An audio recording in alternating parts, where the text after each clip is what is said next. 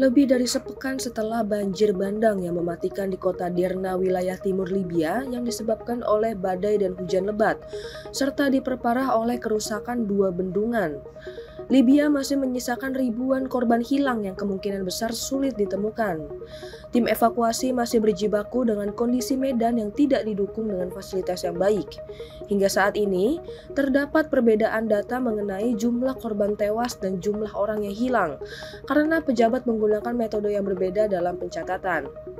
Menurut laporan dari Reuters, wali kota Derna memperkirakan bahwa lebih dari 20.000 orang masih belum ditemukan setelah banjir tersebut. Sementara itu, Perserikatan Bangsa-Bangsa melalui Kantor Koordinasi Urusan Kemanusiaan mencatat bahwa sekitar 10.100 orang masih belum ditemukan sebagai akibat dari bencana ini.